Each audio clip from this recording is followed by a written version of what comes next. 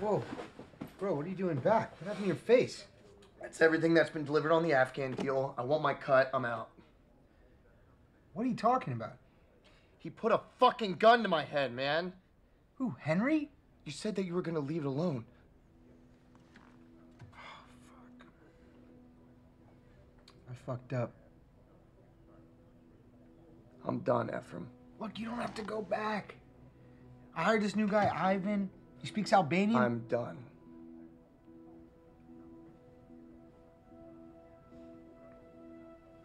What do you think? I just got four million bucks laying around?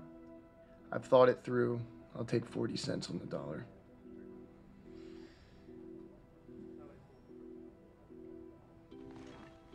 Yeah, I thought it through too.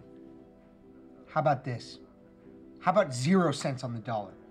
Let me remind you that we have a contract. Fuck your contract.